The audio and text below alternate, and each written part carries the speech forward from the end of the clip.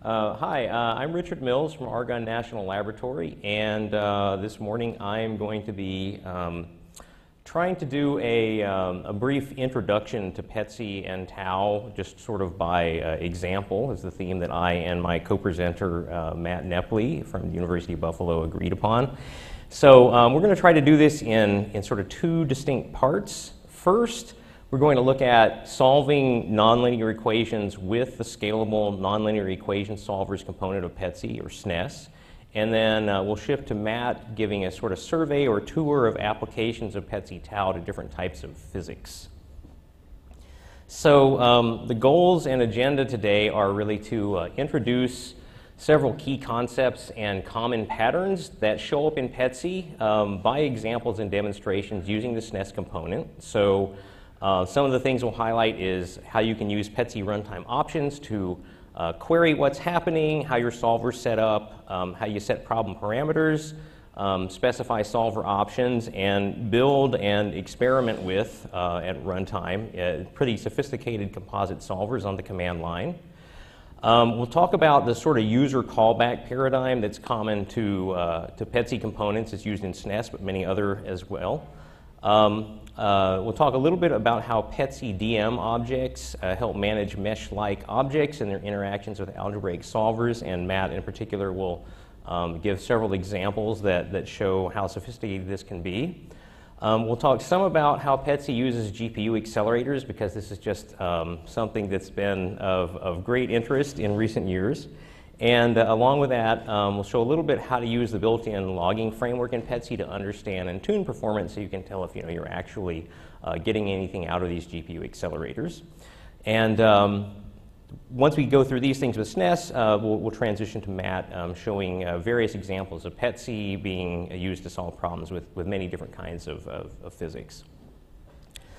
Um, so uh, first I want to start with telling people on how to get help. Um, this is with uh, you know installation or uh, you know the examples or anything else. Um, unfortunately, we only had an hour and a half for this tutorial because we had so many great talks that have been submitted.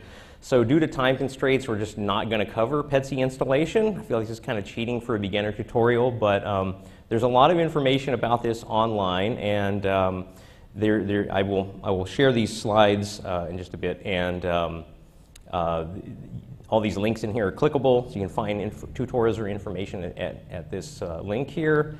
Um, you can get help via email, via these two different methods, or uh, of course you can get help at the meeting. There are a lot of experienced PETSc developers and users here, so uh, just get the attention of one of us, or, uh, or you can try uh, asking your questions on the PETSc Meeting 2023 Slack channel. Um, so I'm going to begin with this sort of uh, like synoptic overview of the components of PETSc and how it's sort of organized. Um, there's this sort of like hierarchical organization of PETSc where um, uh, you have at, at, the bottom things like the VEC and MAT classes that, that implement basic linear algebra operations. And then built on top of that is preconditioners, PC, uh, KSP, Krylov subspace linear solvers, uh, and, and, DM at about this level. And uh, then using that is SNES, and then above that there are things like the time steppers or the TAO numerical optimization solvers. Um, this, uh, this, is, this organization's um, been important because um, you know, the, the, things like up here at this level, like they use a bunch of the stuff down here, and you'll see this is actually how uh, we currently make uh, the PETSc GPU backends uh, work. You know, you can, you can put together like a high-level TS problem, and we'll use the vector and matrix classes uh, to run on the GPUs um, as appropriate. So what we're going to talk about today is, uh, the first part of the tutorial is, is we're going to talk about uh, this, this level of PETSc here, SNES. So uh, I should start with just a little bit of background on, uh, on solving nonlinear equations. Um, I assume many of you already know this stuff. There may be some students who, who aren't that experienced with this. So but briefly, we're going to look at using SNES, which solves systems of nonlinear equations of, uh, of this form here. Um, and these arise in just all kinds of settings in computational science. Um, for these things in general, direct methods don't exist, so you have to use an iterative method. Um, the simplest sort of thing to do is, is a nonlinear Richardson iteration, uh, which has linear convergence at best. Um, then there are nonlinear Krylov methods like nonlinear conjugate gradient, nonlinear GMRes, or, or the closely related Anderson mixing, um, which um, have superlinear convergence at best. Um, but the thing that everybody tends to use is, uh, is Newton's method, um, which is uh, really the workhorse of, of nonlinear solvers. So um, just to briefly outline it, this is, this is basically just a, uh, a everybody's seen this in Calculus 1 class. So um, you start with the, the standard form of a nonlinear system here, um, and you want to find the zeros of it. You, uh, you solve by, you know, linearizing to get this Jacobian system, and then you, you solve that for an update. And, uh, you know, we all saw this again in, in, Calculus 1 class in just, you know, like one dimension, but we just uh, extend this to, you know, however many um, uh, using matrix uh, algebra here. And the great thing about Newton's method is that it is quadratically convergent near a root. So, uh, you know, here's an example of just writing this out for a nonlinear Poisson problem. Um, in practice, um, when we're solving these things iteratively, we don't want to incur the expense of an exact solve. So this here, we don't need to solve this equation exactly. Uh, it's often not desirable to do that, so in practice, everybody uses uh, inexact Newton methods that find some approximate Newton direction that satisfies this relationship uh, for some forcing term that uh, can be static or chosen adaptively. Like in PETSc, there's, uh, you, you, can specify SNES, KSP, EW to use the Eisenstat-Walker uh, heuristic for, for choosing this. And uh, Newton-Krylov methods, which use Krylov subspace projection methods as the inner linear solve to solve that Jacobian system, are a robust and very widely used variant. And PETSc provides a very wide range of Krylov methods and linear preconditioners that can be accessed via runtime options, and we'll, we'll show this uh, a little bit, some examples. Um, the other thing I need to mention uh, before we dive into, into actually using PETSc is that Newton methods, right, they have quadratic convergence, but only when your iterate is sufficiently close to the solution. And if you're far from that solution, the computed Newton step is often too large. So in practice, we use some globalization strategies. Um, there are a lot of different things that PETSc supports. Uh, the most common thing and the default that you get in PETSc is a backtracking line search where you just replace the full Newton step uh, with some scalar multiple of that um, by solving this simple minimization problem, um, uh, a, a, cheap minimization problem that gives you a pretty reasonable uh, you know, model for this. And uh, that's um, you know, what, we're gonna, what you get by default when you, when you run with PETSc uh, SNES. Okay, so I should talk about how you specify the SNES problem. And uh, I'm sorry that this keeps showing up over all my titles, but uh, I don't know what else to do. um, so to solve the SNES problem, um, you need, of course, uh, have a way to, to, specify the thing. And um, PETSc SNES interface is, uh, is based upon uh, callback functions. In this case, there's like a form function, uh, which you call by a SNES set function, and there's a form Jacobian um, set by a SNES set Jacobian.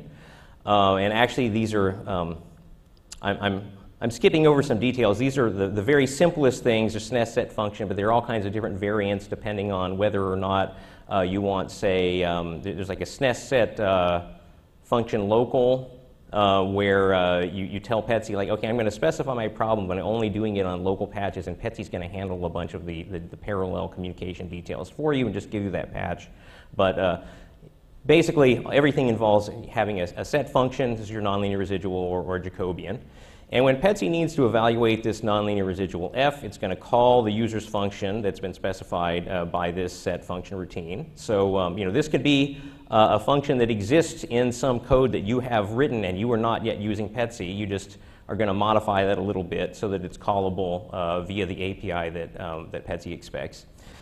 Um, and this user function is going to get application state through this, uh, this CTX variable, this user context, so PETSc never actually sees the application data. And uh, this user callback paradigm is followed by a whole lot of other PETSc components, as we'll see later, especially in Matt's uh, half of the tutorial. And it does not change even when doing things like using GPU accelerators that we'll, we'll also see. So um, this SNES function uh, that calculates a nonlinear residual um, has this, this call signature. Uh, where there's a, a, current solution, the iterate that we're working on, uh, a residual, and, uh, and then this user context that holds the application information, you know, physical constants, whatever that is, is needed by the sort of user physics.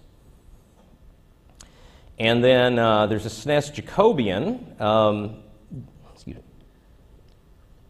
that has, uh, has this signature here. Uh, similar kind of thing where you've got a Jacobian here, J, and then there's a, a, separate J pre, the Jacobian preconditioning matrix, because maybe you don't want to use the full Jacobian for the preconditioner, although a lot of times uh, you, you, this is just J. And again, this user, const, uh, user context. And uh, alternatively, you can use this, uh, you, you, can, you can specify this um, yourself. you can build the Jacobian yourself, but you can also tell PETSc to do things like um, construct it via finite differencing, which it can do efficiently using a, a coloring scheme, uh, or uh, I mean, you can also, um, some people use like automatic differentiation if you want to, to use something like that as well. Um, so we're going to start by looking at um, SNES example 19, which is a steady state nonlinear driven cavity problem um, where uh, you know, I've written out the, the equations here, but we're just solving a, a two, this on a 2D square domain that's got a, a moving lid at the top. Um, it's non-isothermal, so there's a temperature variable. Uh, flows driven by this lid motion and, uh, and buoyancy effects. Uh, uses a velocity vorticity formulation uh, due to David Keyes. Uh, it uses a finite difference discretization over a logically regular grid, so we're going to handle the aspect that. We're going to handle that with, uh, with a special kind of DM, a DMDA, or I think DA used to stand for distributed array or something like that. Um, in this case, we're actually not providing an analytical Jacobian. It's just calculated by finite differences using coloring, and uh, probably lots of people who've run PETSc have encountered this problem because when you run PETSc's make check to make sure that uh, your installation is working, it, it runs this example. Um, and the example is here in, in the PETSc directory at source SNES tutorials ex19.c. And I have it pulled up here. I was actually thinking I would uh, show some of the code in the code editor, but it's a little, I wasn't happy with uh, the amount of screen real estate I'm able to get on, on here. So let's see, it might look better in here. Uh, actually, I'm just gonna, I'm gonna stick with the slides because I, I, am not happy with all the, the space that this is taking up. Um, but this is all, you know, I'm just, these slides are just, you know, looking at, at what is, what is in the, in the code here. Um, so the, the, important things to point out in the example are, are one, this, uh, you know, I mentioned this user context. So uh, in the code, we define this user uh, defined data structures. So just co-located at each node, we have our, uh, our four variables for our degrees of freedom, and we have uh, this, this struct here that holds the physical parameters that, that set up the problem, like the lid velocity, uh, Grashof number, Prandtl number, um, and then there's also something here in case you want to uh, use a, uh, an option to, to draw contours of your solution. So this is just this application context here. And uh, man, I really wish I knew how to make this, uh, this thing go away. I just have to like wait a second, right? Every time you move your mouse over the, the smaller version, it opens itself up. Yeah. Um, let's see. Yeah. Okay, well, all right, so here's, here's the, um, the, the, form function, and in this case, um, it, we're using a form function local um, that I've talked about. And um, the, the important thing, uh, well, there are several important things here, but one thing I, I really want to point out, and I'm careful, I'm, I'm, afraid of pointing at it with my mouse, but up at the top, there is this DMDA local info. And um, this holds some information about the parallel grid that we're running on. And uh, you see here, um, let's see, there's, there's info, and it tells you basically a bunch of things about, uh, you know, what, what's, what the, the, layout of your grid is, where your corners are, stuff like that. Um, and PETSc is handling this information for you, and this really simplifies your life if you're writing a parallel MPI code, especially if you've not done this before. Um, when I started using PETSc, I actually thought this was like one of the most helpful things about PETSc was the DM and, and it handling a bunch of stuff. So I could write a function that does my physics and I only have to worry about you know, computing you know, a portion of the, the residual over the local patch that, that PETSc just gives me because DMDA is handling all this stuff. So uh, here's what our form function local is. You're just doing finite differencing. Um, and then that's, you know, that we've, we've basically specified our problem right there because uh, we, we have something that builds locally the Jacobian, I mean, sorry, the residual, and, uh, and that, that's encoding all the physics for our problem. So uh, let's try to actually run this thing. And uh, I will note um, there is, uh, let's see, actually, uh, Matt, could you um, like take the PDF of the slides and just like post them on the Slack channel right now? Yeah, because I want people to be able to actually, uh, these slides have a bunch of clickable links in here. And uh, I just um, wanted to point out, I, I, actually have a link here to um, a web page that has kind of you know easily cut and pastable uh, instructions for, for this. They were, um, these are actually exercises I came up with last year um, for a, uh, a, an Argonne training workshop. And so I'm just going to refer to the same thing here. So I can you know, click on this, brings up uh, this page, and, and we're just going to, to save a little bit of time, I'm going to cut and paste uh, some of the examples out of here. So, all right, so I'm going to run this. Oh, okay, sorry. All right, so uh, I'm just going to run this here where I'm going to run on just a single processor, the EX19 example, uh, with a bunch of options that I'll, I'll talk about. And oops, what happened? Oh, I'm in the, in the wrong directory. Okay. Okay in the tutorials directory. There we go.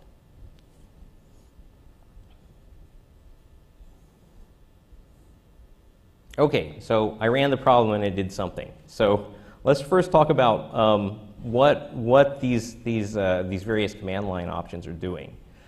Um, so the first thing that we're telling it is, is we're adding a SNES monitor. So PETSC, by default, when it, it solves a problem, it doesn't give you any output to standard out or any diagnostic information like that. So we want to actually show the progress of the SNES solver. So we add this. There are monitors for all kinds of things that you might use in PETSC, uh, TS, KSP, whatever. They're, they're all these different monitors. Uh, they're customizable. Um, then I actually want to know when the SNES solver finishes. I would like to know why it did so, and you know, did, why, did it converge? Did it diverge? If so, why? Um, then I, you know, I, mentioned we're using a DMDA. Here I'm specifying uh, the initial grid points to use in this direction, x and y direction. So I start with a 16 by 16 grid. And then I'm telling DA to actually start from that, the DMDA to start from that grid and then refine it two times uh, to give me a bigger grid. And then um, we're setting this lid velocity, which is this dimensionless number, and, and the Grashof number. And uh, the thing that I, I, really want to point out as an element of the PETSC design philosophy is really extensive runtime customizability. So um, there are all these things you can control from the command line. You can use uh, dash help to enumerate and explain the various command line options available. And uh, I'll just show here. So if I add help, um, it, it, gives me a bunch of like context sensitive uh, information about um, you know what you know, what, what I can be specifying. Um, so if I'm doing things like I'm doing a multi-grid solve and I say dash help, it will tell me a bunch of options like here are, here are things that you can do uh, with the multi-grid solver, for instance. So um, always resort to using help when you don't know uh, what's going on and how to, how to control stuff. So, okay, that's just showing, uh, you know, what happened when we ran the thing. So, all right. And so let's see what the SNES solver is actually doing. So we add uh, this SNES view option.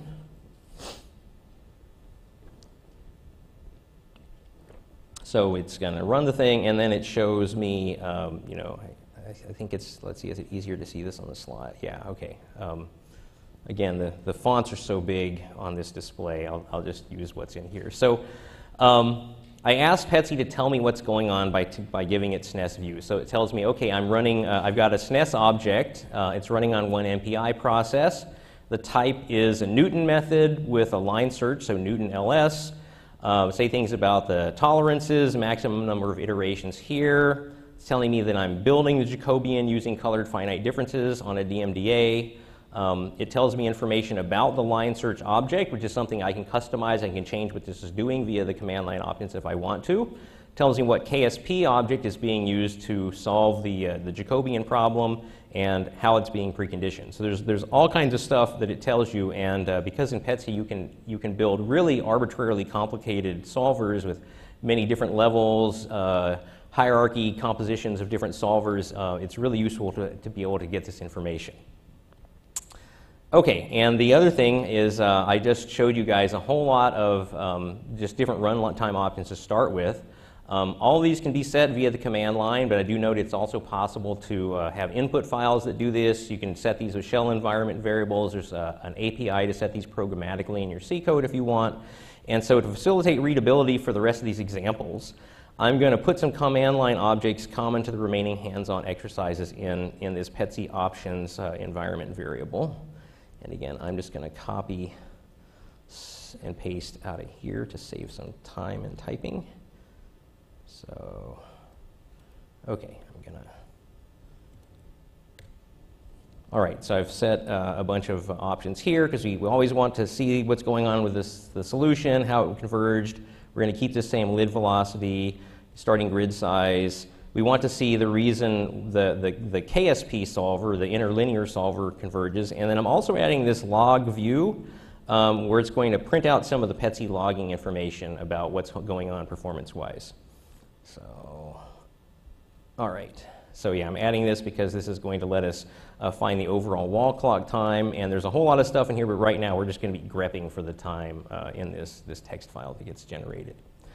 So um, so let's experiment a little bit with this example. So, uh, you know, PETSc defaults to inexact Newton, um, but if I wanted to run an exact Newton, I can just, uh, I can just do this. So let's, let's just do an experiment. In fact, I'll cut and paste this in here.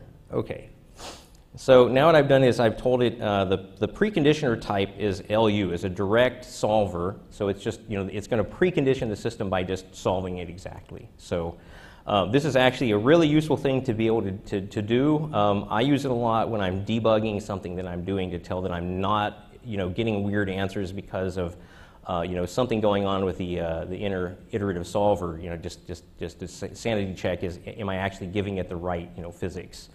Um, so okay, so we've done that, and on this machine it took like four and a half seconds.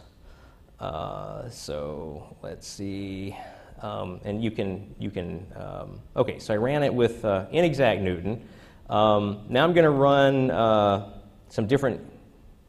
Sorry, I ran it with exact Newton. Now I'm going to try you know messing with inexact Newton, just vary the linear solve tolerance.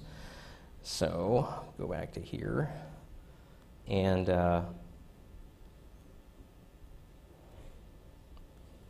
So, yes? Ah, okay, so, Well, then it's still says it can't find something, but then I, I don't know if I need to go to track five numerical, I'm looking at your instructions. oh, so, um, yeah, so the instructions were, were from a, for a different workshop where I set up stuff on a computer that, that students were running on. Um, in, in this case, if you have a working PETSc installation, and, and like make check works, like if you run make check, it is building this file. Um, you can just go into your PETSc source SNES tutorials and then do make ex19 and you should get that and if it's not working for you one of the other PETSc developers right now should go over and look at look over your shoulder and help you with this okay thank you for asking yes uh, I just I just finally got post date. You here when I start recording on Zoom. yes Okay, yeah. Sorry that we missed the. Yeah.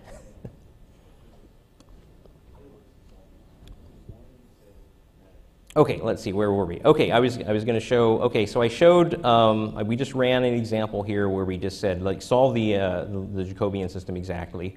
Um, now we're going to mess around with uh, this tolerance that we solve it to. So you can just um, specify this by dash KSP RTOL, specify the relative tolerance. Me do that.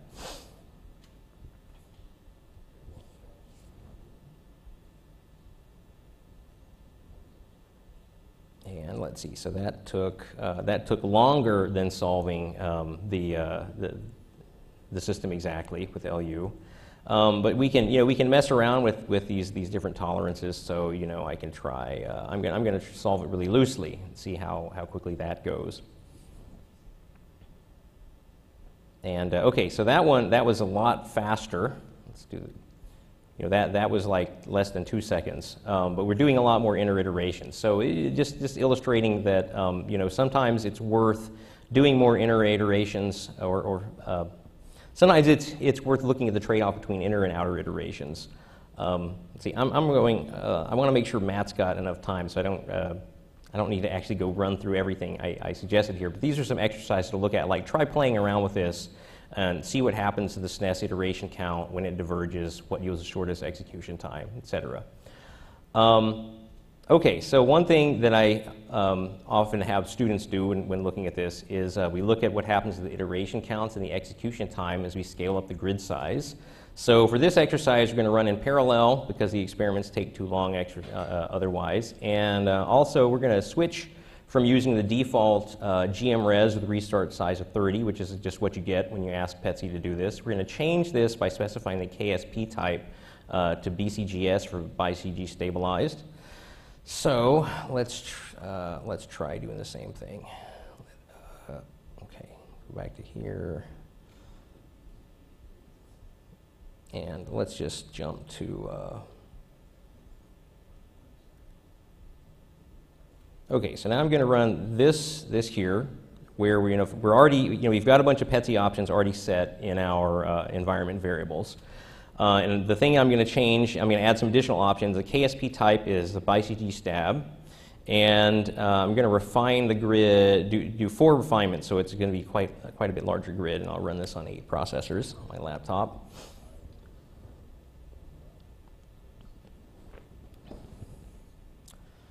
And while it's doing that, um, you know, the thing to do is mess with this, run with the default preconditioner, see what happens to the iteration counts and ex execution time. Oops, I started with four.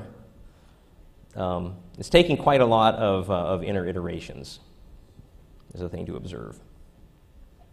So at, at four, it's doing, you know, like several hundred uh, linear solver iterations to get convergence uh, on the Jacobian solve. And let's go back to try it with just refining it twice. you'll see, okay, we're spending a lot less time solving that linear solve, but as we, as we refine the grid, get a, get a finer problem with more degrees of freedom uh, total, uh, we, we, take a lot more time. Uh, so we're doing a lot more iterations. So um, that's bad, right? And so what we want to do is let's try using something that we know should be uh, algorithmically scalable and we're going to try using geometric multigrid. So what we're going to do is like I can do the same thing here where I was doing uh, DA refine 4, and I'm going to say um, PC type MG. So now I'm going to default to using PETSc's uh, multigrid uh, with, a, with a V-cycle.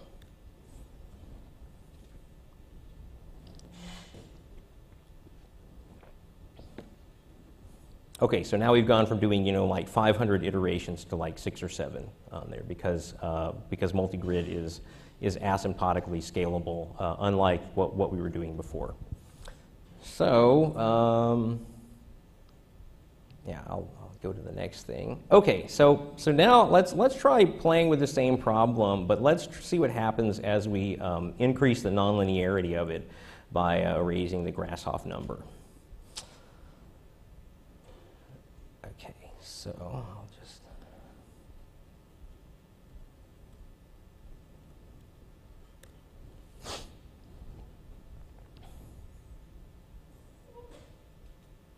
Okay, so that's running it with a Grashof number of 100. Now let's see, let's increase this a couple orders of magnitude and see what happens.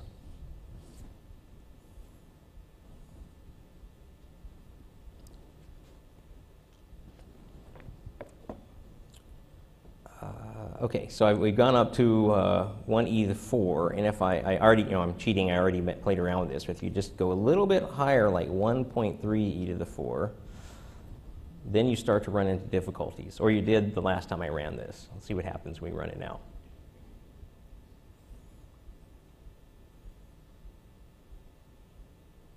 It's thinking hard.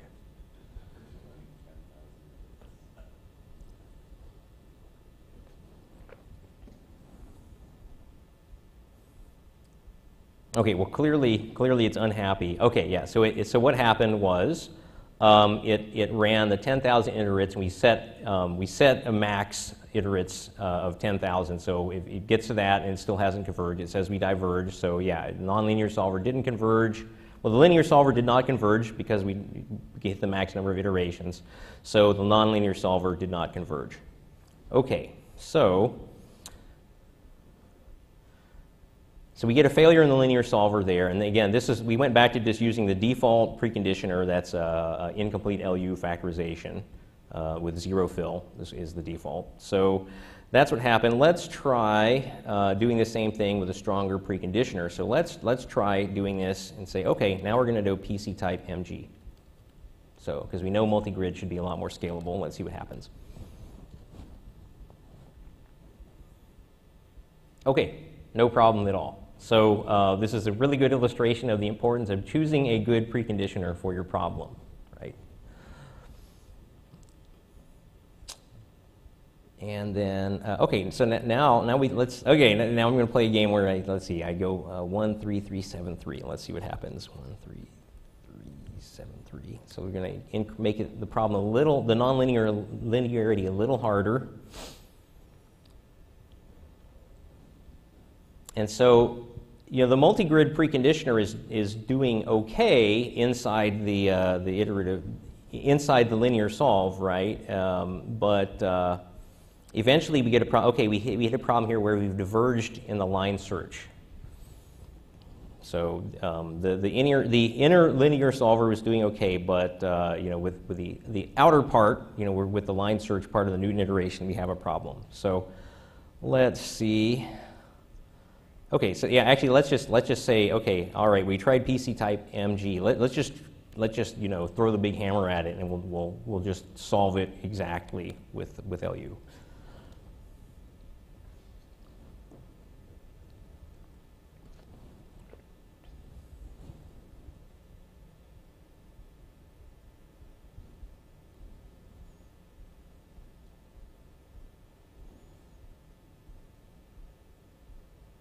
Okay, so the, uh, the nonlinear solver, the, the Newton solver is still, it's, it's having some difficulties, even though there's, there's definitely nothing going on. Yeah, say we've, we've hit, hit the max number of iterations that we, we can do for that.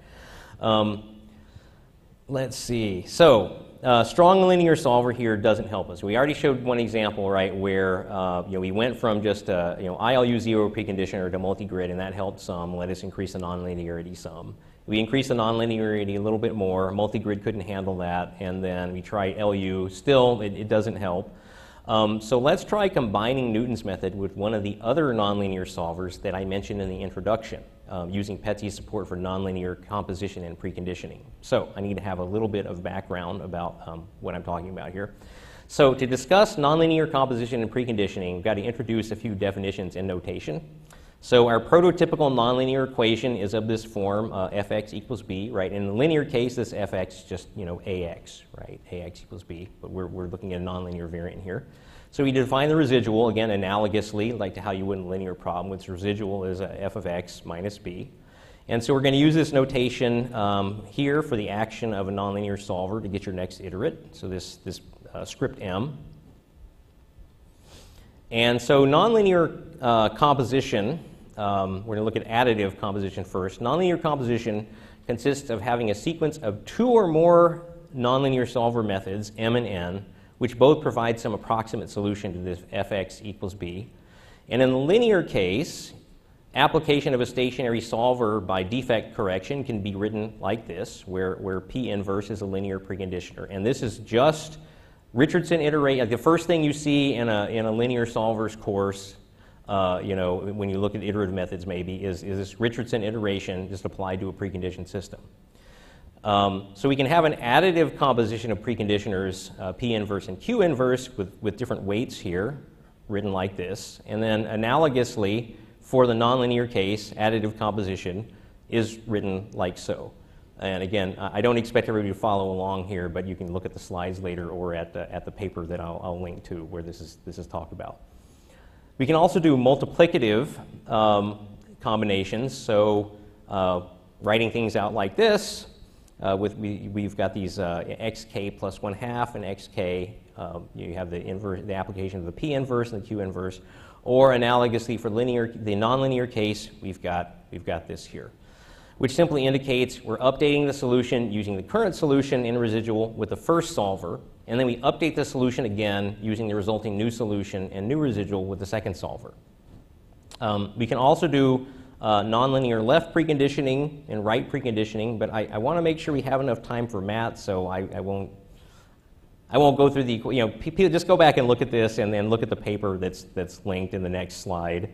Uh, but you can do nonlinear left preconditioning or right preconditioning, and these are um, all these different.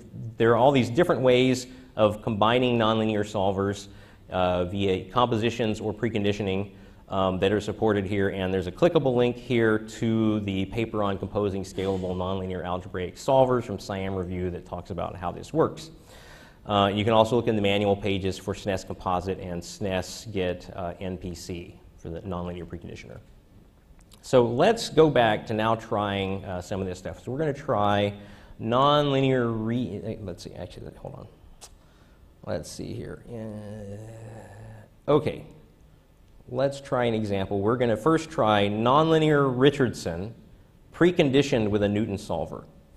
So I will again cheat on my typing and just cut, cut and paste here. So um, we're running with uh, just this, this uh, two refinements. We're going back to this problematic Grashof number that you know we couldn't get convergence on even when we used LU in the inner solver. And now we say the SNES type is nonlinear Richardson. And the nonlinear preconditioner SNES type is Newton with a line search. And uh, we're going to uh, use a multi-grid on the inside for the linear solve.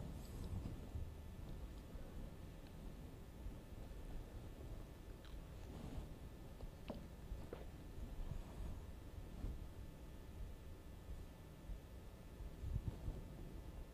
Okay, it's uh, doing something, we hope. Sorry, Richard. Mine are converging with yours don't, and I think that's because the lid velocity is somehow set different. So, like, let's say, Um, yours, mine is very small it's yours is a hundred or something. Okay, so I think, um, so if you're following along like on the instructions on that web page for my ATPESC workshop tutorial last summer, um, there's a step in there where I set a, a export a PETSc options environment variable that's, that's setting some of these parameters, and maybe you didn't do that.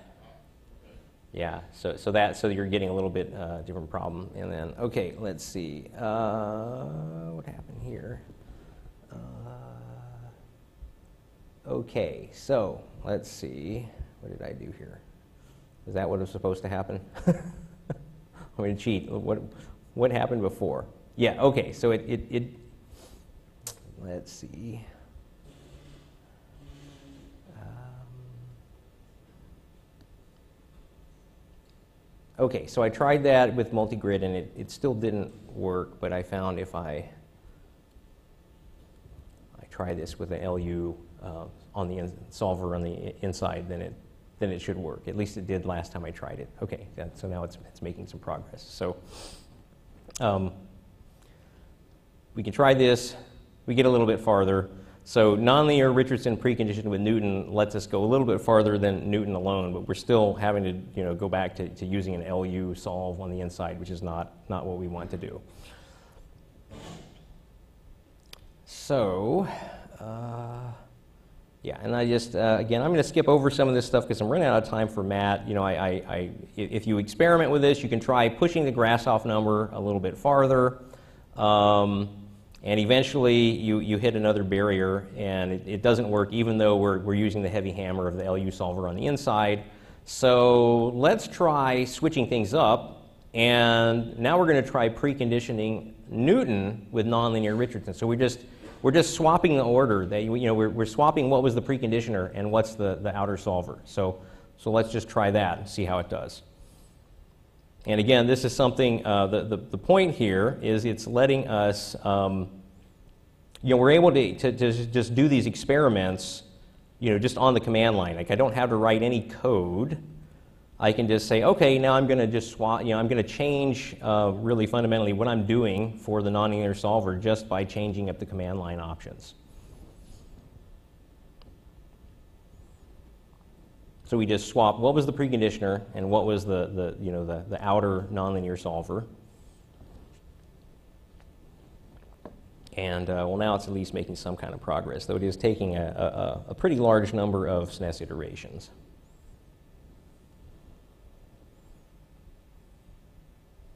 In fact, I'm gonna I'm gonna skip ahead because we're running out of time. Okay, so it, it actually it works, but it takes like 350 something iterations to do. Um, but then you can play around with some other options like, okay, in, in this case, I was, uh, I was actually only doing one iteration of the preconditioner. I can change it to three just by changing this, this parameter here. And, uh, and then it actually works really well. In fact, I'll just kill this because it's going to take too long. And I'll say, okay, now do three, three iterations uh, in the preconditioner. Um, and then that is enough to, uh, to make the problem uh, pretty tractable. Okay, uh, let's see. And then um, as an exercise, you know, you can try messing around with, with you know, the number of iterations you do in here. Uh, see what, it's kind of interesting to see, you know, how this affects the, uh, the convergence of your outer nonlinear solver, but um, I'm going to skip over that. And then I'm just going to end by noting that you can actually push the Newton method preconditioned with nonlinear Richardson extremely far. So, like if I do this one.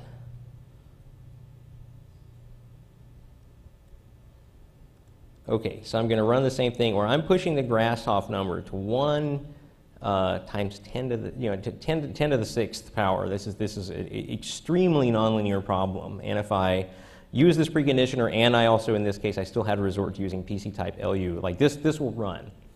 Um, and this is, um, see, Matt, Matt, do you have thoughts on just like, just, can, can you put into context like how nonlinear a problem this is, or how hard that is?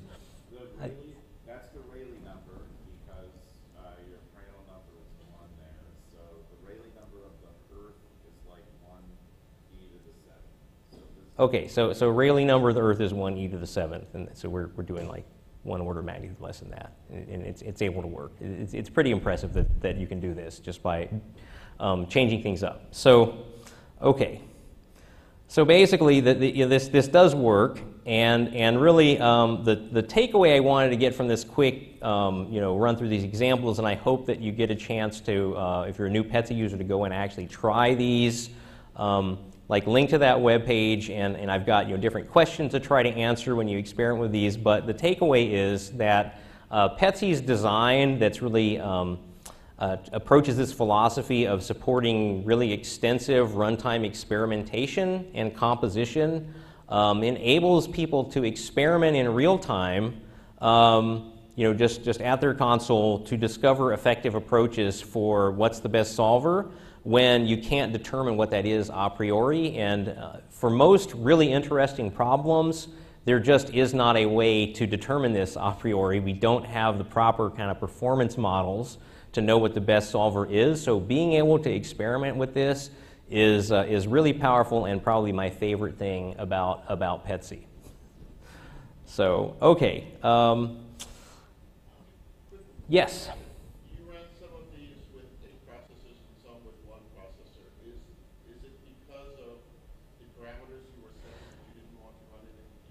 Yeah, so, so, the question is, um, you know, I ran some of these with one process, one, one MPI process and some with eight. Um, I was just trying to kind of keep things from getting too complicated, but when I ran things with more processors, it's because um, I was increasing the size of the problem too big to, to be able to, you know, it just takes forever on one processor. That, that's the only real reason. So um, the, the methods that, yeah, the, that's a very good question. Will some of these methods be affected adversely by running on eight processors? Okay, so, so a couple things. In the cases where I'm using the LU solver, I'm using PETSc's built-in sequential LU solver. It just runs on one process, and it's really for just, you know, a lot, it's for debugging stuff or for doing uh, something where you're, you're doing like a small, you, you, might, you might be running it inside a, an MPI parallel thing, which you're, you're, just solving like a little you know, portion of the problem, or you've restricted your problem down to just you know, one, one CPU, something like that. Um, the default preconditioner in PETSc that you get when you just tell it to solve a, a linear system is it uses, um, it uses GMRes with a restart size of 30 and uh, a block Jacobi preconditioner with ILU applied on each block. So you will get worse convergence with this single level domain decomposition as you, as you, you, know, you go up from one processor to 8 to 64. You'll see increasingly worse convergence because when you're in parallel like that, you need a multi-level method. But if you uh, run like with the multi-grid preconditioner, then there is no uh, real downside to using more of the, um, of, of, the MPI processes. Okay. Um, well, I took like 45 minutes already. Uh, Okay, well, I, I, will spend like just 10 minutes like talking about, about GPUs. This is sort of a bonus thing. And so everything I've talked about so far is really just totally orthogonal to the topic of how to run PETSc solvers on GPUs. But this has become pretty important, so I want to just like briefly explain how this works. And so first I'll show this, this conceptual kind of cartoon of how we want GPU usage and performance portability to, to work in PETSc. And, and what we're going for is a separation of concerns between like the application code, the user code domain, and what PETSc does on the back end. And uh, the important thing to note here is that um, you know, we support a bunch of different GPU programming models. And the GPU programming model that PETSc uses, like inside its GMRes or whatever, does not have to be the same as the performance, as the GPU programming model that you use in your user code. These can be different. Um, and you, know, you want people to be, we, we want users to be able to choose you know, what's most appropriate for their problem. So that's, that's it. And then um, we already saw in the SNES example, it's a sort of common pattern for how PETSc applications work, where you know your PETSc code's going to compute application-specific data structures. Um, user provides some kind of function computation callback. Uh, maybe optionally provide a Jacobian or a Hessian or something like that computation callback, and you call the PETSc solver possibly in a loop. This doesn't change with the use of GPUs. The creation of the solver, matrices, vector objects, and their manipulation doesn't really change. It's just that uh, now, hopefully in user land, you are using uh, you know, CUDA or Kokkos or, or HIP or whatever GPU programming model you want to calculate your physics uh, on the GPU. And of course, this means you're going to get some data structures that reside in GPU memory. Um, hopefully, you're able to construct them directly on the GPU, but sometimes you might need to construct parts on the CPU and copy it to the GPU. And then the, you, you want your function and Jacobian or whatever to call GPU kernels uh, if you want to get end-to-end -end utilization of the GPU. Um, and uh, so like I, I, show here just a, a, really simple example of you know basically what this looks like if you've got a code that you want to be able to, to use Kokkos on the GPU or just run with the, with the reference implementation on the CPU. Basically, um, just if, if your code has a flag, to use Kokkos, you're going to you know say when you set the function in Jacobian, you're going to you're going to call the Kokkos versions of these. And then um, just here is showing a, uh, a very simple example of like what a, a, a uh, CPU reference implementation of your, uh, your nonlinear function looks like versus what the Kokkos version looks like here, separated by this horizontal line. Um, really, you know, looks almost identical, except that uh, in the CPU-only case, we call something like DMDA Vec get array read, uh, which is going to give you uh, read and write. Um, you, you get uh, just you know pointer memory pointers to these. Um, you do basically the same thing in the case where you're writing uh, for, with, with the Kokkos performance portability framework, except now you get these, these Kokkos views into the thing. And then, um, you know, in the CPU case, we just got this simple for loop, and in the Kokkos case, we're using the Kokkos parallel for. But I mean, it, it's, it's really very conceptually quite similar uh, how you use these things. And uh, same thing for, for, for matrices, but I'm going to skip over that. And then I'm going to talk about how PETSc uses GPUs on the back end. So PETSc provides several new implementations of PETSc's VEC, it's a distributed vector, and MAT, distributed matrix classes, which allow data storage and manipulation uh, in device uh, GPU memory. And what it does is it Im we imbue all the VEC and MAT objects with the ability to track the state of a second offload copy of the data and we synchronize these two copies of the data only when required. So we use this lazy mirror model to avoid you know, unnecessary copies. And um, the sort of magic here is that because the higher level PETSc objects, your SNES, your KSP, your TS, whatever, uh, in the end, these all rely on VEC and MAT operations. So execution is going to occur on the GPU when the appropriate, you know, GPU targeted delegated types for VEC and MAT are chosen. So basically, what this means is, um, you know, I can take some of the examples that I was running before, and I can say, you know, run with a CUDA backend on an NVIDIA GPU by just saying, hey, instead of now using the default uh, AIJ matrix type, now my matrix type is AIJ cuSparse, and my vec type is CUDA. And uh, basically, I just do that. And because PETSc has separated the high level control logic from the optimized computational kernels, um, even a very complicated, you know, hierarchical, multi-level, domain decomposed uh, you know, physics-based solver can run on different architectures by just choosing the appropriate backend at the runtime. You don't have to recode anything. So um, again, I have some. If you if you have access to a GPU machine, um, you can try some of these examples. And uh, let's see. Uh, you know, actually, I'm, I really want to make sure Matt has has time. So I'm just going to say, you know, look at the slides, and you can, you know, you can, you can see it's very simple. You're just adding some things like saying, um, you know, in this case, I'm, I'm adding a, my, uh, my DM vec type. CUDA. The reason there's a DM here is because I'm getting the vectors from this, this uh, DM object that manages my grid. So I say, hey DM, please give me vectors that are CUDA type and matrix type is AIJ cuSparse, and you run it, it's great.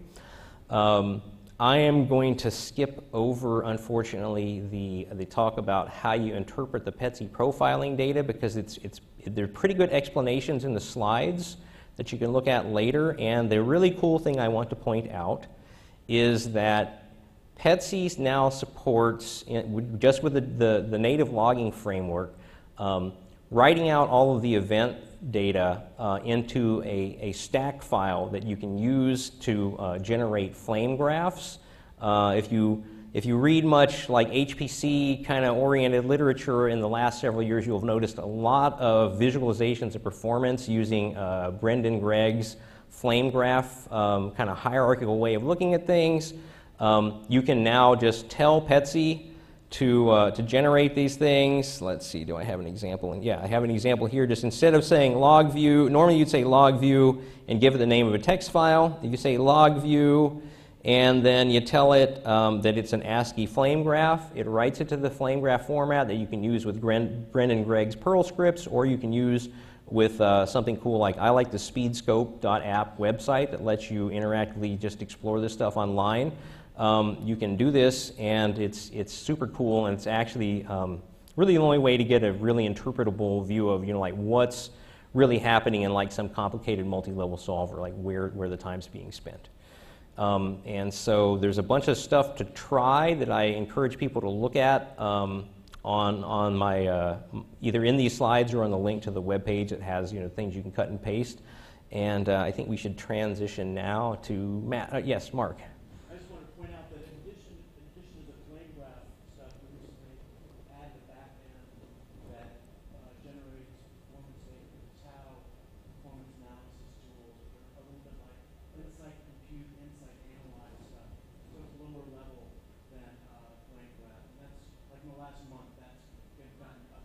Yeah, here, I'll, um, oh, I'll, I'll, just repeat what Mark was saying. And th- yeah, this is a great thing to add. So, um, so uh, Sameer Shende and Kevin Huck at the University of Oregon and ParaTools um, worked with, with me to add um, support for the, the TAU tuning and analysis utilities, TAU, uh, performance toolkit that lets you do you know, like very low level profiling and it, it knows about PETSc logging events and stages.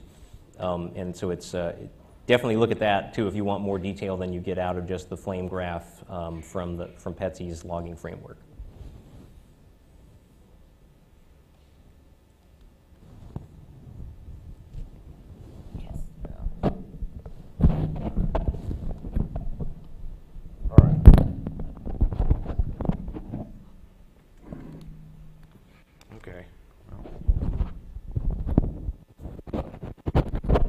probably be there.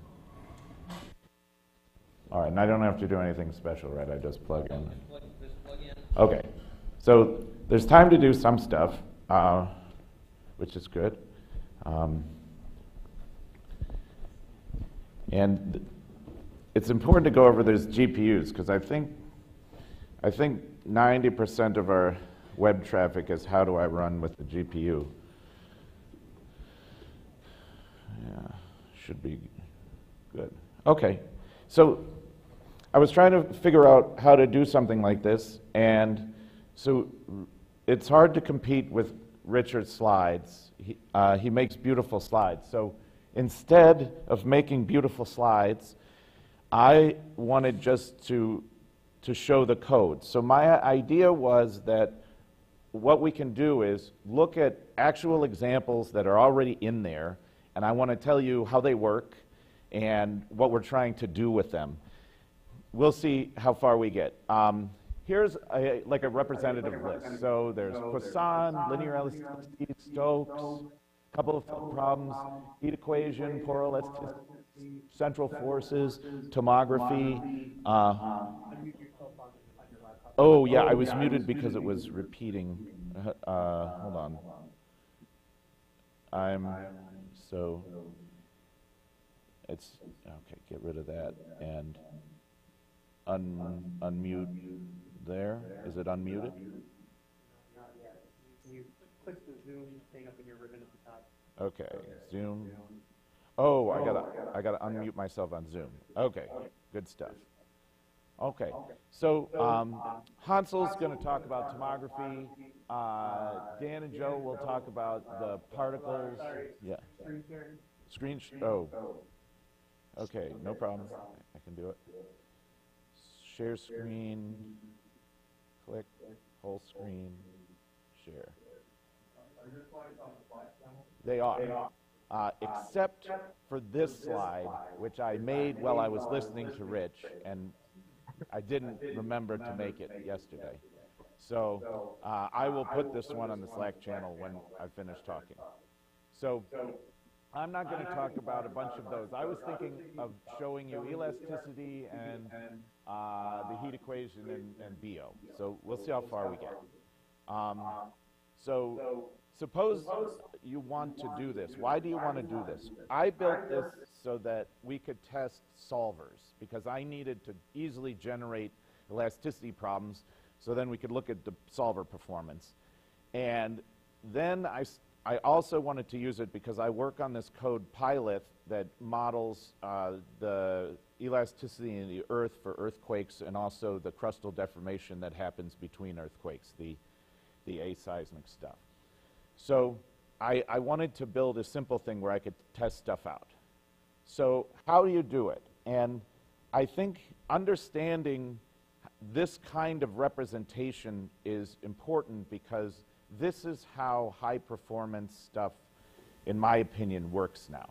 So the libCEED project, which I'm not going to talk about because uh, Jed will talk about it, is a rethinking from a performance standpoint of the operations for finite elements, but really you can do others, you can do any stencil thing with this. So we, we've implemented some finite volume stuff now too. Uh, and the heart of it is something we, we talked about before CEED, and in fact, PETSc worked this way before CEED was a project or a, a thing, and that is to look at the weak form, uh, and here is a representative weak form. Uh, the gradient of some test function times some other function, and it might have a number of components where the C is a component index. Uh, so for instance, here's linear elasticity written in this way. And the reason for writing it in this way is to look at what stuff you need to know and what stuff I can figure out automatically. So I know everything about this test function here. And, and I know everything about the basis functions there, and I know all of the um, coefficients, so I can evaluate any of those functions u anywhere I want. I know what the integral is. I know how to break up the integral into, because integrals are additive, so I can break it up any way I choose, for instance, over cells.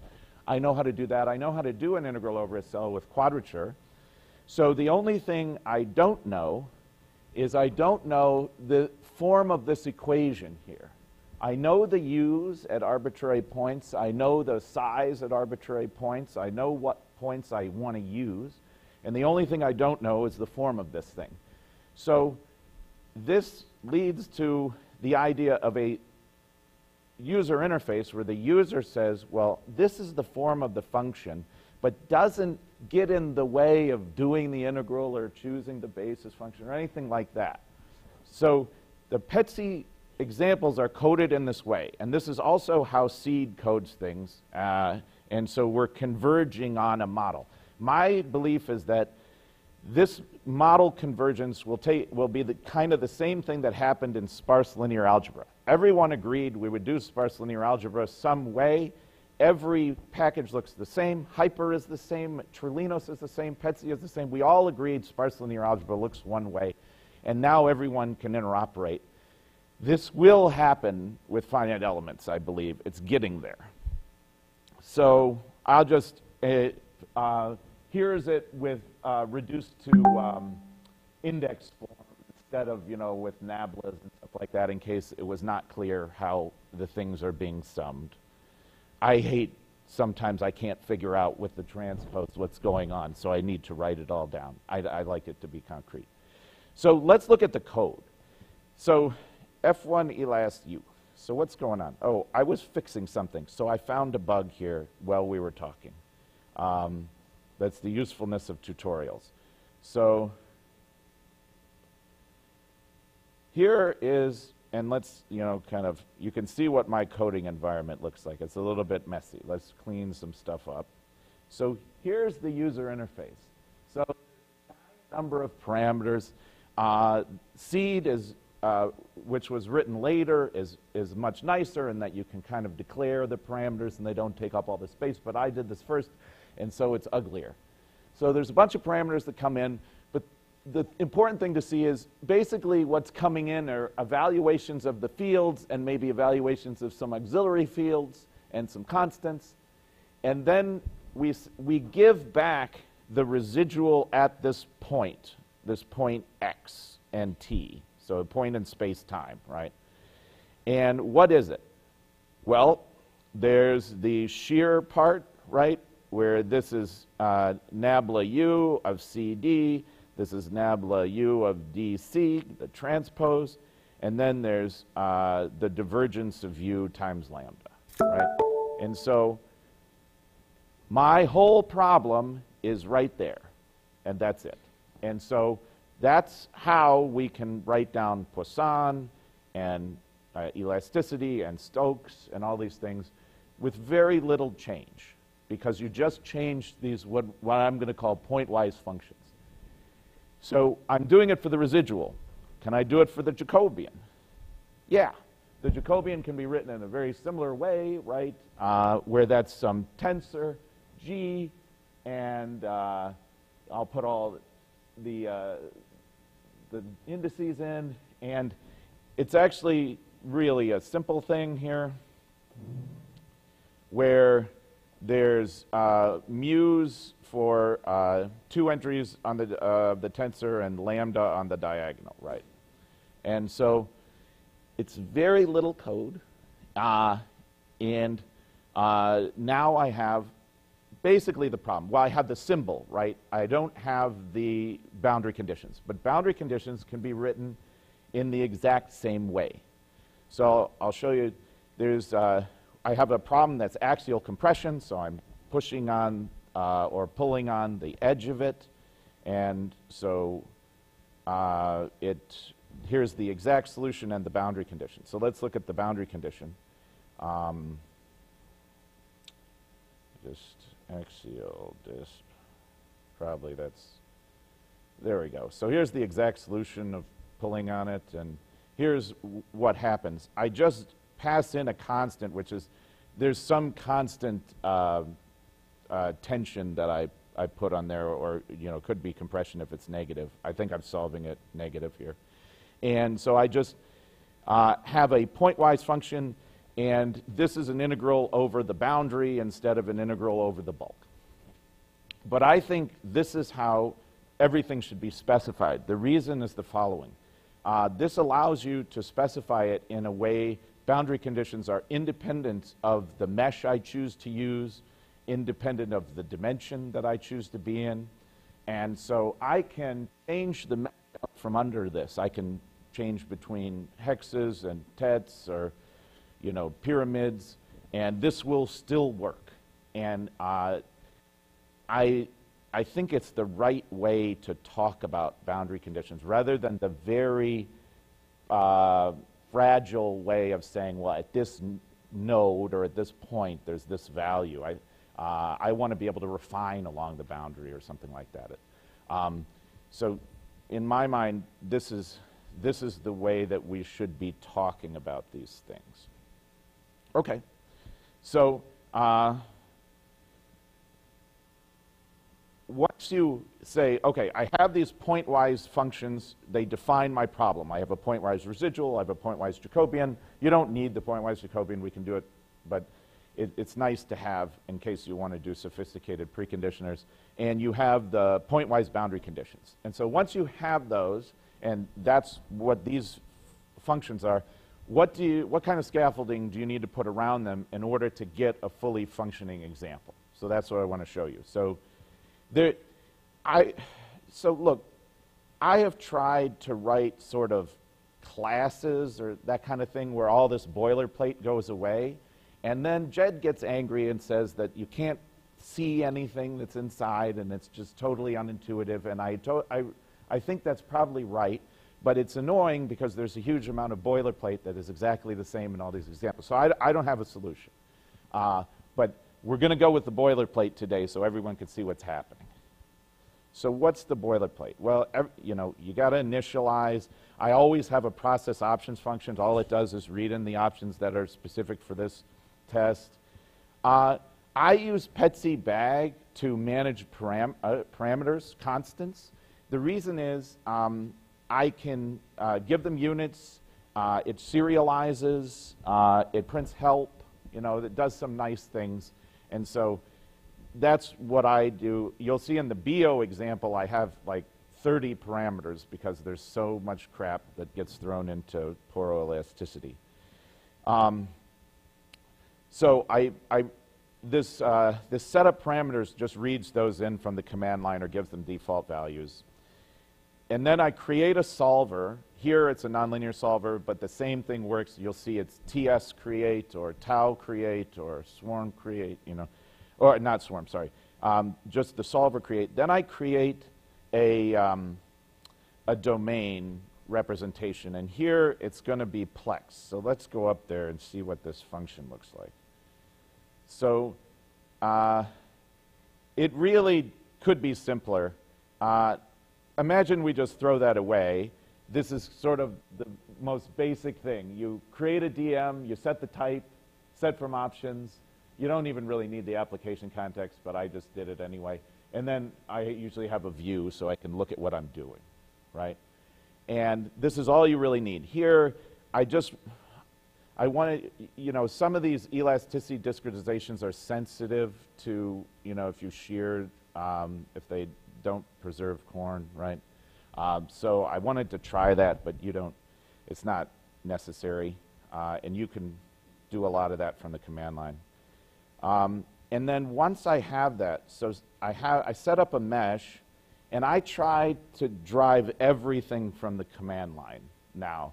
Uh, I think we are uh, so heavily reliant on meshing uh, where you have human intervention, where you're like, oh, I'm going to bring it up and look at it and then change the little stuff here and then save it in a mesh file and read it out.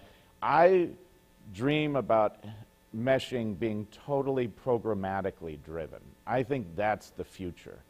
Um, and mesh programs, in, in my mind, are crazy. They are Byzantine, Rube Goldberg machines of all sorts of crud in them that make compilers look easy. And what they should be are simple chains of predictable and easy operations. And that's what we try to have here. So in what Plex is, is a thing that reads the simplest possible mesh in or, or calls a generator and then alters it in predictable ways that uh, you need for your problem. So sometimes it's called adaptive mesh refinement, but that's, It, I don't have the same point of view of, as many people who do that, so I tend not to say it, but that's the idea. So once I've created a mesh, I need somehow to have a representation of functions on the mesh. So you have the topology and you have the dual of the topology, which is the space of functions over that topology, right? So how do you do it? So I have this function set up, uh, create, set up finite element here. And what I'm doing, I say, um, get me the cell type of the highest dimensional cell in the mesh here, and then I tell um, PETSc to create me a finite element that's appropriate for that cell type.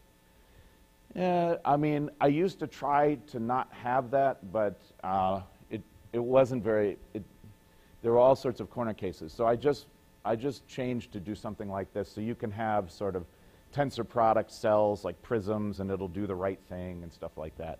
Um, but I'm not in love with that. It's just, it works okay. Then we, uh, we say, look, um, use this discretization for a field in the DM, and fields are intended to mirror like physical fields. Um, stuff that has one representation. And you can have as many fields as you want in the problem. They can have extent that uh, does not have, you know, cover the whole domain, so you can tell it, I only want it over this part of the domain, stuff like that. You can have them over lower dimensional sections.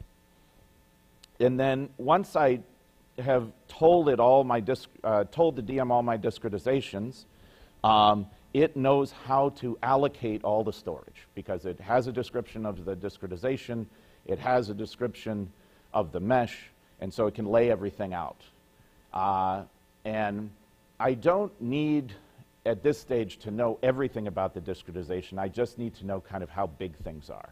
And so if you want to manage your discretization, fine. Let me make a model of how big it is. Then I can lay everything out and also manage all the parallel communication, but I don't really need to know the analytics of what you're doing, right, as long as I know how big everything is. And then this function does all the processing, finds the intersection of all the you know, domains that you've declared fields on and lays everything out and that kind of stuff. And then setup is, is just something I, I put in here. It just calls a function to define the problem. And so what do you need to define the problem? Well, you need to tell me these pointwise functions. So you need to tell me the pointwise function here. I'll go to the, the one that I care about, the axial, you know, where I'm tugging on it. You need to define elasticity, the residual, and the Jacobian. And then if you want boundary conditions, which I do, I want a natural boundary condition on the right-hand side, a, a non-uniform one, uh, tension, then I need to tell you, okay, somehow I need to describe where this boundary condition is. So the meshes have a facility for subsetting. Uh, it's called labeling. Uh, so DM label is a thing that can mark part of a mesh. And so I use those for boundary conditions, you know, initial conditions, for uh, subproblems, anything you want to do subsetting for, that is what is used. So here we say, oh, get me the label, the named marker, which is the one that I by default put on the boundary of the mesh. So get that one out, and then um, a particular ID. So I divide, a, I have different label IDs for different pieces. So I get the ID that's the right-hand side, and I say, okay, put it, uh, use this pointwise function uh, for the right-hand side. And you can see, so we started having many different kinds of pointwise functions. So there's residual one, there's Jacobian one, there's ones that integrate over the boundary. And so eventually it became so, you know, such a big thing that I just made something to handle it. So this says, okay, um, a, I, each of these pointwise functions has a key. There's a label that tells me what part of the domain it, it covers, uh, well, label and ID pair that tell me where in the domain you want this thing to apply. There's a uh, field index that tells me which field this particular pointwise function applies to. And then I have a part number, which you can interpret how you want, but I'm using it to distinguish between left-hand side, right-hand side for IMEX type of things. So you give this composite key in, and so I can now what I do is all these pointwise functions are stacked in with different keys, and then you can retrieve them by key to decide to do something. So for instance, if you want to do fully implicit, I pull them all out. If you want to do semi-implicit, I pull some out. I, I put the others on the right-hand side. So I, it can be flexible. And uh, here, I'm just doing a simple thing, which is applying this boundary condition at this place for field zero. That's it.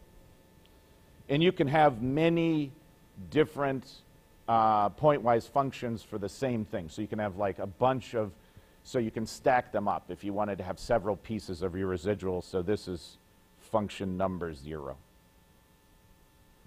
But this allows you to declaratively specify a problem. So instead of the problem being instantiated as this code that runs in this place, what I'm doing is saying, my problem is defined by these functions, and then inside I can decide how the control flow goes. When do I assemble? What parts do I assemble? Do I partially assemble it? I, you know, and so this, the idea then is this all back ends into CEED, where I use this information to create CEED operators on the fly that do all this evaluation, so I don't have to manage it. That's how we get portability, vectorization, all that stuff. This strategy is almost working. Uh, Jed and I had a disagreement. Um, he thinks that people are awesomely smart, and so uh, everything is bare bones in CEED. It doesn't do any transformation. So, for instance, if you look at one of these pointwise functions, like the elasticity one, let's look at the elasticity uh, F1 elas, right? So here I'm using ux. What does that mean? Is that the derivative in the real space, in the reference space? And in CEED, that's the derivative in the reference space. So you have to know what to do. Uh, so you have to understand what kind of element you might have. Is it one that transforms with Piola, or is it transformed just like uh, H1? You know, and all of that stuff is up to the user. Uh, in Seedland, that's awesome because the user will know how to optimize it. For me, I would rather have it all done for me, even if it is slower, because I don't have to think about it. So, you know, that's the impedance mismatch right now. Once we resolve all that, uh, we'll be able to seamlessly do everything, I think. So, once you have a mesh and a discretization and your equations and your boundary conditions and your parameters, then you can do the solve. And how does it happen? So uh, if you don't see, Richard showed that um, you have this form function callback and a form Jacobian callback. But say that you don't do anything. Say you, you don't specify any of those. What happens? Well, if you have a DM associated with the solver, and that's the first thing we do down at the bottom, Oh, come on. We do SNES set DM. If there's a DM there, it will ask it, okay, you didn't tell me what to do for the residual. What do you do? And it will give a default answer. Here, oh, someone has told me about these pointwise functions. Use them. What, do, what about the Jacobian? Okay, someone has told me there's pointwise functions for the Jacobian. If, there's, if someone didn't say that, then they say, okay, well, let's do finite differences uh, or something like that. And so the solver asks these questions of the DM and says, I need a residual, I need a Jacobian, build it for me. And the DM does that building based on the declarative specification that's been given at the top. So this is the idea. This is, this is the idea, I think, of uh, how can you build a physically flexible way of talking about these things that's still complicated enough to do real problems, to have complicated meshes, to have adaptive refinement. So there are examples in PETSc with adaptive refinement. There are examples in 2D, 3D, 4D, 5D. I have a 5D example. Uh, there are examples where we do hyperbolic, elliptic, parabolic, and So I just want to run a few of these so you can see how much, am I, I'm not out of time yet, am I? Good.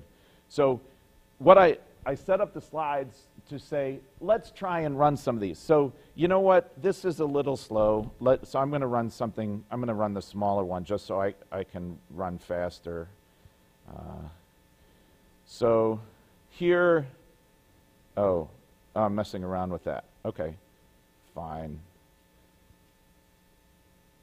So the test system, I run everything through the test system. I really like it, but um, you don't have to do it that way. So let's look at Q. This problem is just a block of elastic material, and this is purely to evaluate convergence rates. Um, was that not the name? To, oh, yeah, I'm missing. So you have to tell it what kind of MMS function to use. Okay, so what happened? Well, there was output that it compared against, so let's see if we can find that. There. So the convergence rate that it has is 1.6 for Q1, which is not quite 2. So what's happening? Well, this is in the CI, and so um, I can't crank things up like you'd really like to crank them up.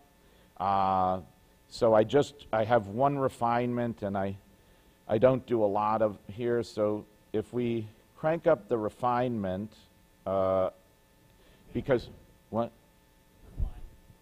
Oh, yeah. If you crank up the refinement, you can, you can get it to, and then, um, so I built this little thing, Convest, uh, which is, what it does is it packages up solves um, so that they're reified. So like a problem and a solve together is a thing, because then I can do things to it. Like, well, I can refine it several times and repeatedly solve on different on a series of meshes um, because my problem is all declaratively specified. So instantiating a new problem is uh, easy and doesn't require me to know anything about the problem in the internals. So I can write things like this convergence estimator.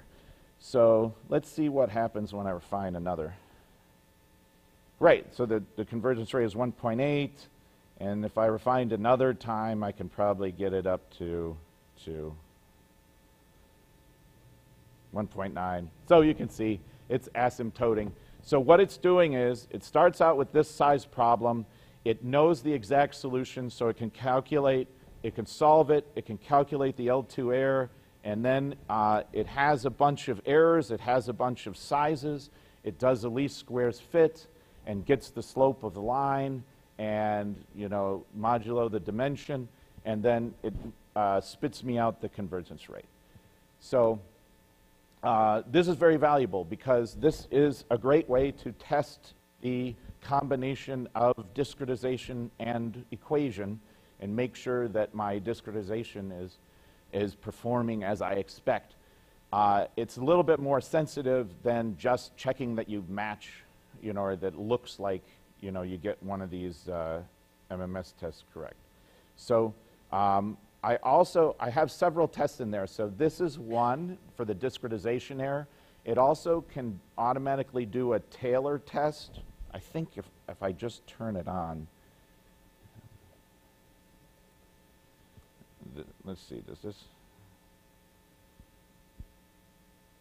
Yeah, okay. So um, I, the, that thing, there's a, you can call, there's an API for it, but it'll do, check the discretization error of the exact solution, um, which you can see matches the original grid, um, the residual of the exact solution, uh, which should be small, and it does a Taylor test on the Jacobian. So you do a bunch of uh, different size perturbations, and you compute the uh, finite difference uh, action uh, versus the action of the Jacobian, and the error term should go like h uh, squared. So I measure the uh, convergence rate of that, and this is an exactly linear problem.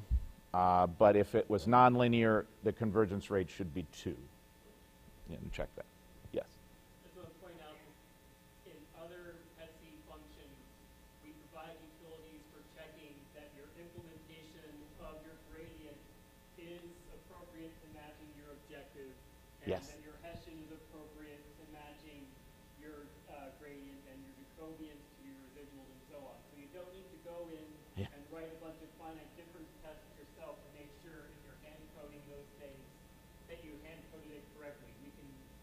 Have utilities Yeah. that will check that for you with command line options, not just in this VM mesh specific stuff, but throughout. Oh, Yeah, SNES test Jacobian. I usually do this, SNES test Jacobian view.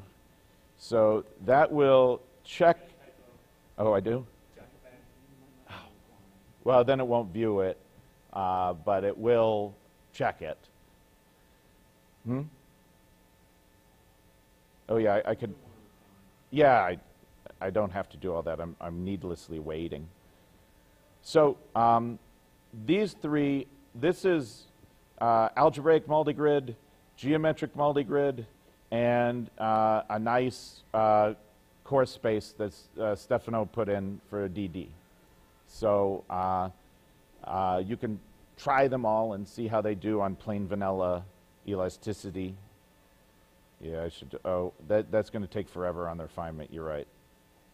So get rid.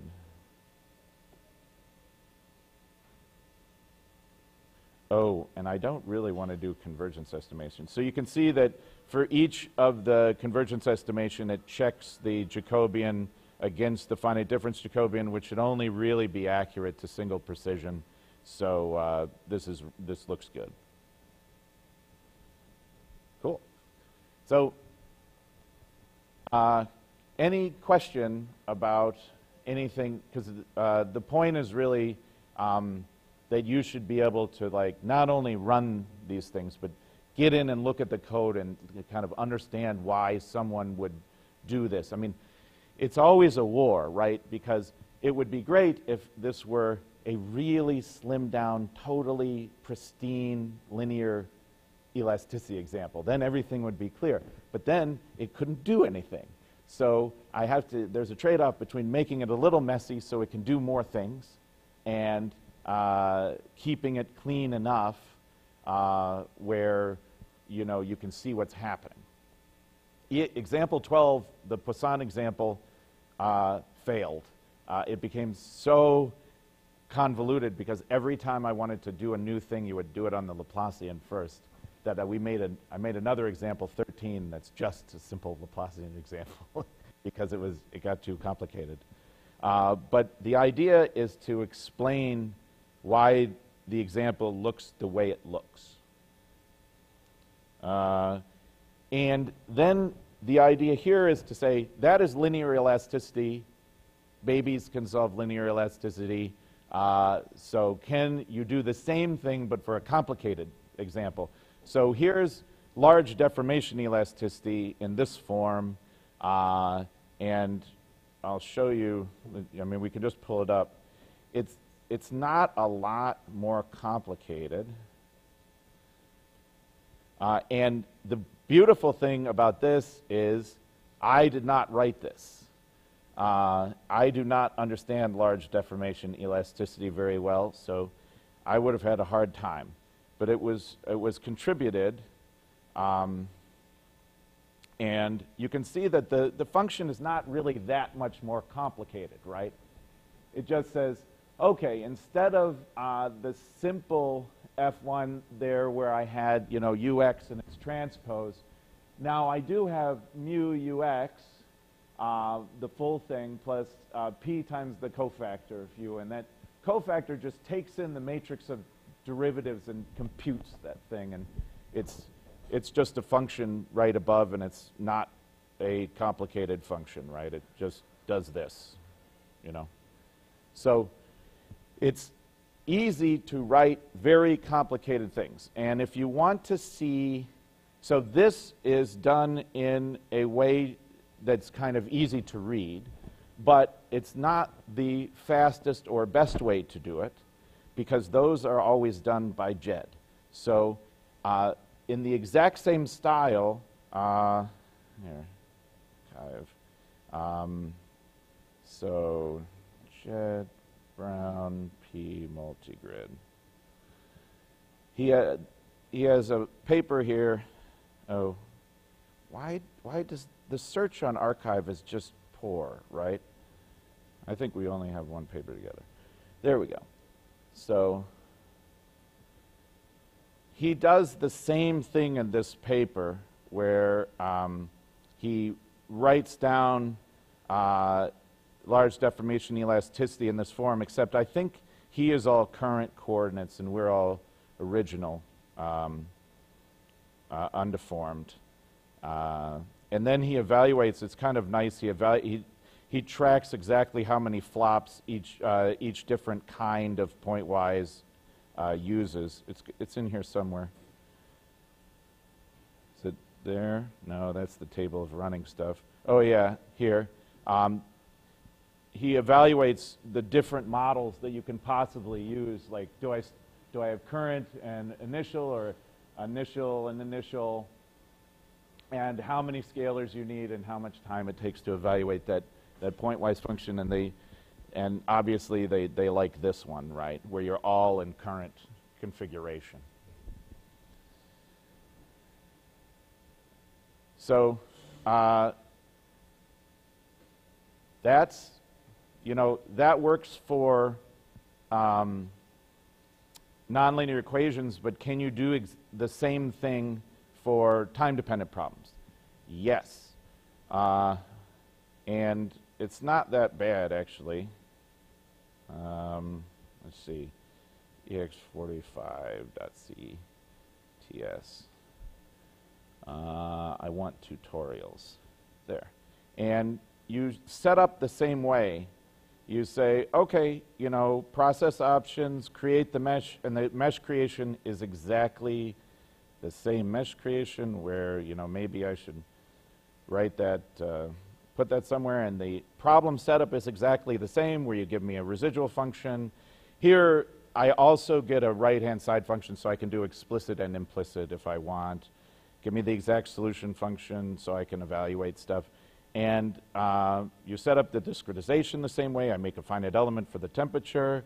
Um, and I do need one more thing which produces initial conditions. So, uh, be, so my problem is fully defined. I need boundary conditions and initial conditions. And once I have all those, then I just create the TS, I set the DM, and now I can do my same trick, whereas before I would refine the mesh and repeatedly solve to get the convergence rate spatially, I can do the same thing temporarily. I go back to the beginning, I cut the time step down, and I keep evaluating. So you can get temporal and spatial convergence rates uh, automatically. And so let's you know do at least one of those, right? Um.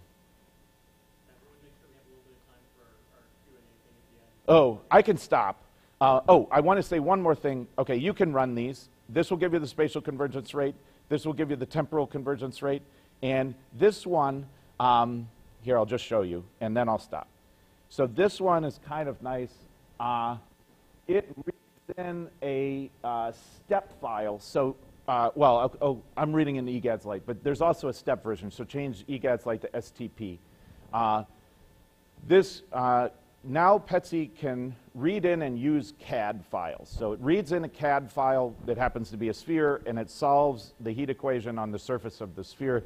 Uh, oh, actually, no, I think I no, I generate a mesh. It solves the heat equation in the ball. It, it generates a mesh for that surface and then solves it. And uh, so you can, uh, and it will refine, the refinement sticks to the CAD surface. So you can, uh, you can adaptively refine in the surface and solve, uh, and here's an example of doing so.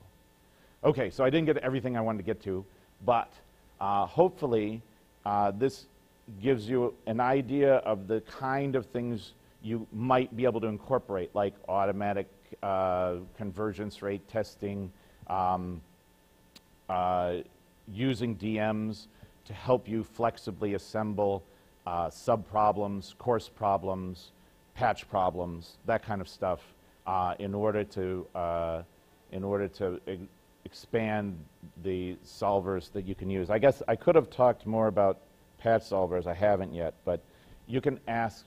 You know, we can talk later about some of those other advanced solver stuff. Thanks. Did I? Are there were any questions uh, about stuff? Um, I guess we can do questions in the in the break. So, Recording stopped. Okay, there's a Q&A period now. Okay, good.